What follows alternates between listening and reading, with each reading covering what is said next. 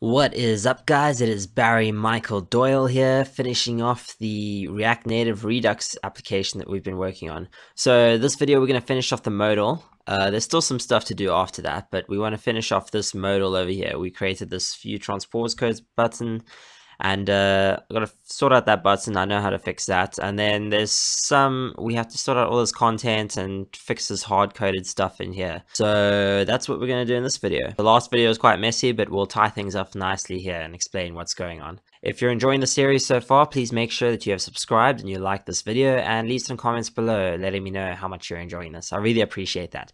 Anyway, let's dive into the code. Right, so here we are, we are left off in the chords modal. Uh, there's some little quick tweaks I want to do.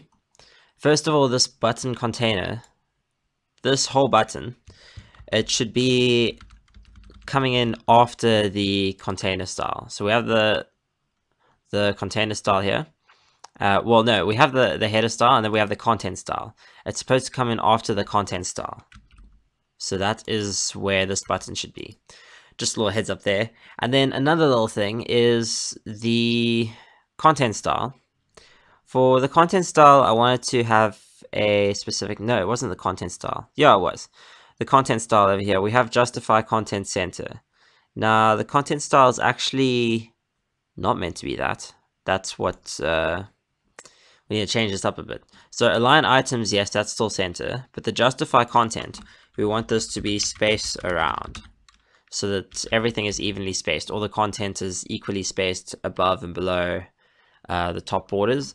And on top of that, we just want to add a little margin bottom of 10 to it, just so that there's some space between the last bit of content and the button. Because when you fill up the whole screen of content, the last row gets a bit close to the buttons. So that's just one little thing we had to do there.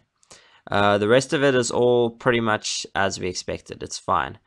So let's continue on with this application. So I think the first thing I want to sort out is this header style over here. Now currently we've got, uh, well yeah, in the header style we've we've got a bunch of stuff.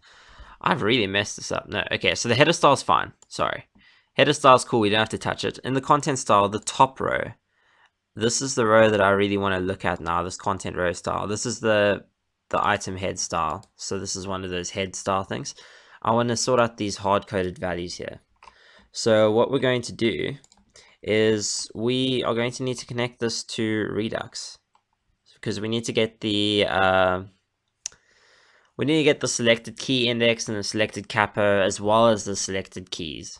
So if you think about it, we've got our whole return statement here. Underneath here, I want to get um, well, we want to get this dot props dot selected values dot selected key index and selected capo. So that's selected values from there. Selected key index. So we've done this before, so it shouldn't be too surprising to you. So this is like that's going to equal this dot props. So we basically have this dot props dot selected values dot selected key index, and we also have this dot props dot selected values and selected capo. Uh, and we also have the stop prop stock keys. So that is all that sorted. ESLint's just freaking out because we haven't implemented this yet. And what I also need to remember to do now is we have to map the state to props. We, we've actually already done that, so that's all sorted. So we've already got this, we did this in, when you first set up the modal, which is great. So we can actually use this right out the box. Now I want to implement this for the key over here this key over here, I want to have the keys at the selected key index. So when you select a key, the top one I want to say is like um, key selected key index uh, dot key. Because if you remember from where did we put it? We put it in our reducers, our key list over here we want to get the dot key value. So if the selected key index is zero, then we want to get the key of selected key index zero, which is dot key, which is C. I hope that makes sense to you guys. And now this arrow is fine. That's hard coded in. I need to remember to put that in the video description. Uh, I'm not putting in this video description. It was in the last description, so you should have it there. Now, what we need to do here is get the selected capo to go in here. And that's pretty straightforward. We just have um, selected capo. Um, and that's all sorted. So it's capo, if it's seven, then it's seven chords, and that is how that works. So I'm not going to focus on showing you what the application looks like. Or maybe I can, since it's already open. So let's just check it out quickly. Right, here's our application all loaded up. And I'm going to go to view transpose chords. And there we go, we have key C and capo 7 chords. And if we change this to key F and capo 3, then we go to view transpose chords and it will say key F and capo 3 chords. So that's all working perfectly fine. The rest of this stuff over here, we have to sort out uh, by what we're going to do next. So next up, let's go into application.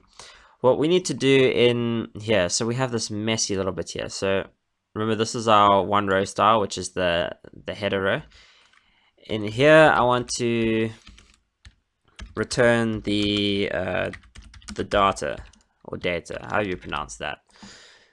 And for that, we're going to do quite a bit of things. So I'm going to create a new whole um, lifecycle method above here called render chord rows because we're going to have a whole bunch of rows going on. And this is also going to, it's going to take the styles. So we've already got the content row style because we're reusing this now. So we want to use the content row style, the item container style, and the item style from styles. Uh, the last video, we already set those up down here because we're using them as well in this um, header row up here. So item container style um, and the item style and the item head style, that's all used. We're not using item head style again, but we need the content row style, item container style, and item styles.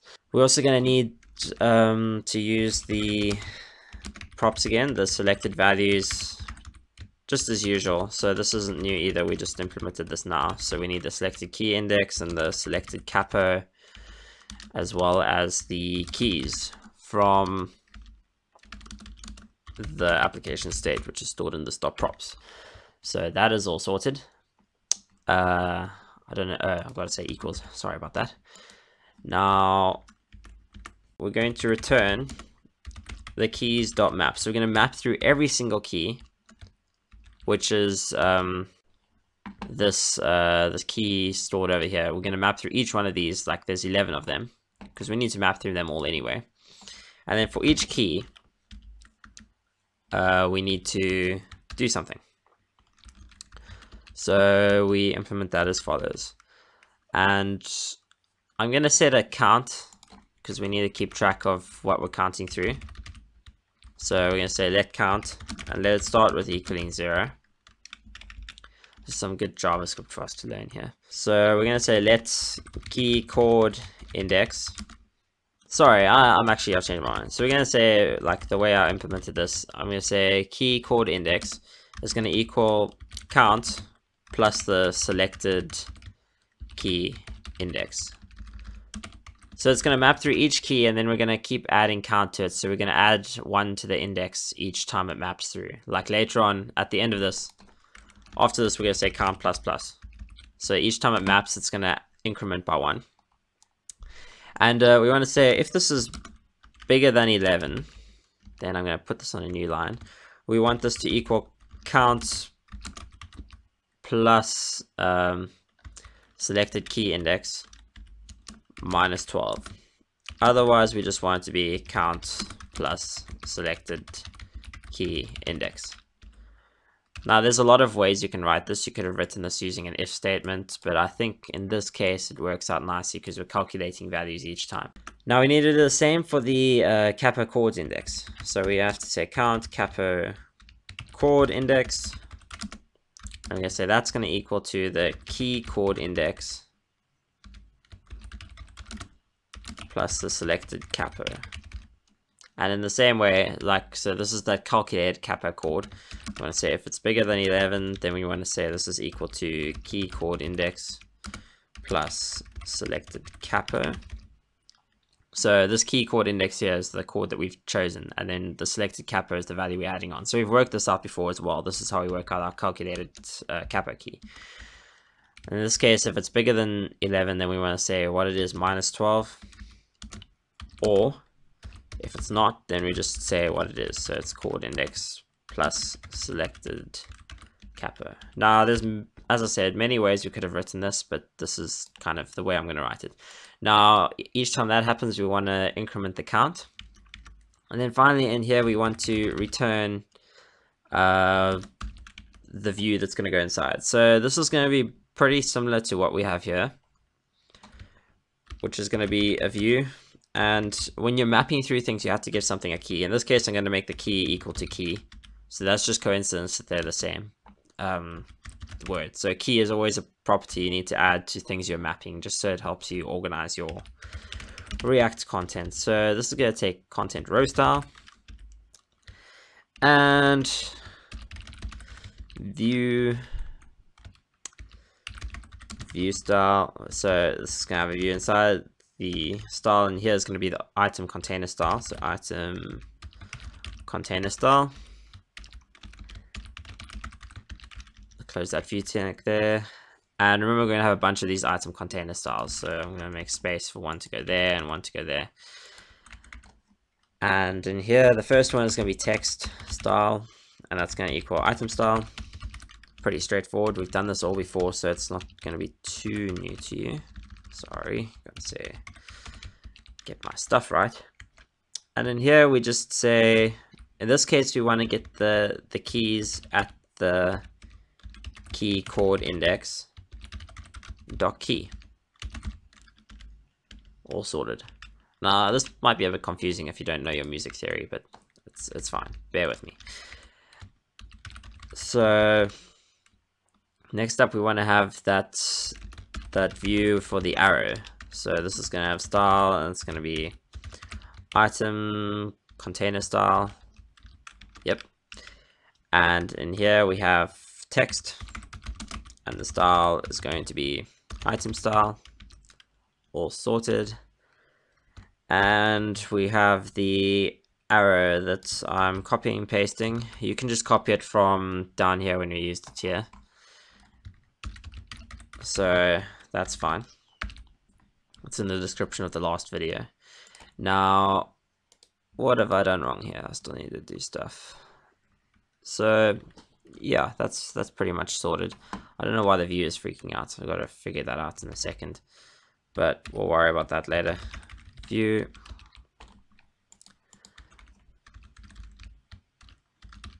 And view.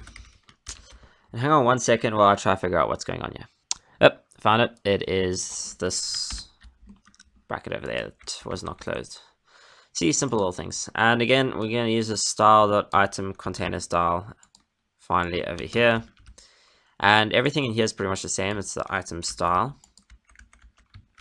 So I'm just copy and pasting that, except the value is not going to be keys at key chord index dot key. Actually, I messed this up. It's supposed to be key chord index and then dot key. There we go. Good thing I noticed that.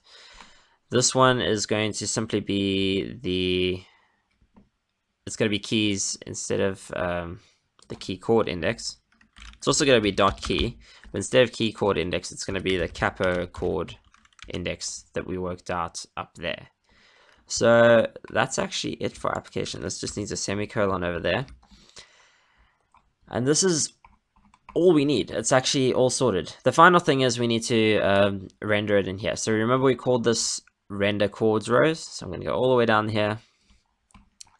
And in there, I want to say this dot render chords rows. That's the function that we call, and that will render each of these. For each key, it's going to return this view, and it's going to go in there.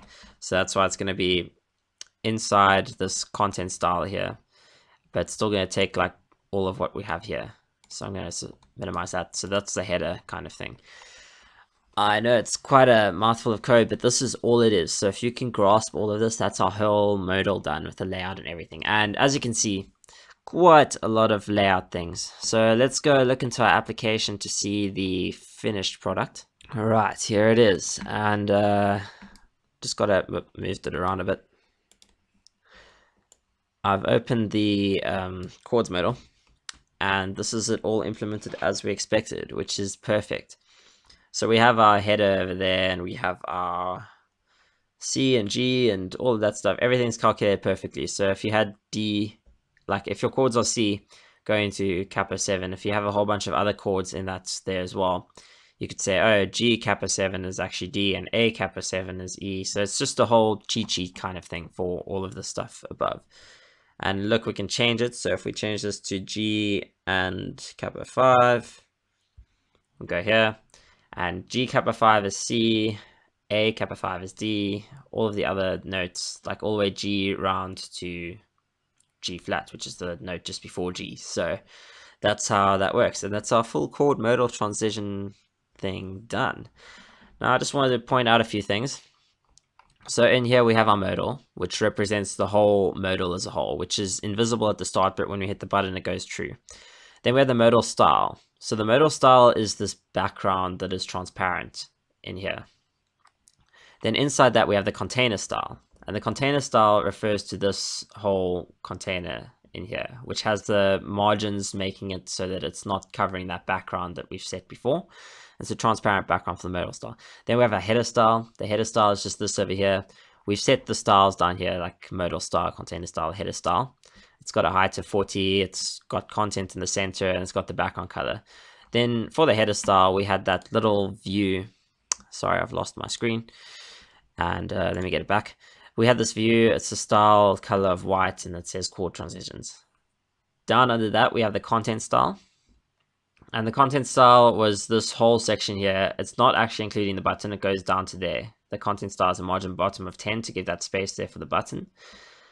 And then there's also button container style over here, which contains the button and then the button inside it as well, which is the button. so that's pretty straightforward. In here, we have our different uh, content row style. So the content row style, if we look down here, uh, content row style has a flex direction of row. So every time we add flex to the content, like the item container, it's a flex of one. So it'll take up as much space as it possibly can. And since there's three items in this row that have a flex of one, they will equally be spaced between each other. So that is how that works, because the item container style is one. And in the items as well, they're all centered as well. So that's perfect as we wanted. Um, up here we have the this content row style here. It's got that, gonna hide this again. So we have this item head style and the item style. So what this does is key G and all the other ones as well, they all have item style and item head style. They first take the item style, so they're all centered. They have a font size of 16 and there's um, text align center as well. And then they take the item head style, which is font weight of 900 so then they become bold and then they have a font size of 14 so 14 like the head style because it comes second in the array it means this overwrites what's in the item style. So that's how that works. And then we applied this item style and item container style and content row style all of that same stuff up over here to the each key that gets rendered. So each one gets rendered and then as you map through the keys a new index comes in with count and we just add one index to each of these all the way through. And the same here, one index to each of these all the way through to the bottom. And that's how we calculate all this. So that pretty much does it for the app. And an ad has just popped up. My bad. Um, we're going to close it there. So there's our working app. But I know you guys all love to have ads in your apps, just like I do, because you make some money out of it. Um, not much. I've made like about, I don't know, probably 70 cents by now. You'll see in the next video as we set up the application for that. So I'm going to show you how to implement ads into the application because I just know that's a thing a lot of people like to do and we have not really implemented that anywhere else and I don't see it implemented many other places. So it'll be nice to use that and show you guys how it's used. So that's what we're going to be focusing on in the next two videos. I think two, two or three videos, depends how long it takes. But uh, yeah, I hope you look forward to that. Uh, if you're enjoying the videos, please make sure that you have subscribed so you can see when new ones come out and hit that bell to be notified for new videos coming out because I don't want you to miss any of this. And then, yeah, leave a like and I will catch you guys in the next video. Be sure to comment as well. Really appreciate the comments. But otherwise, I'm heading out. Ciao.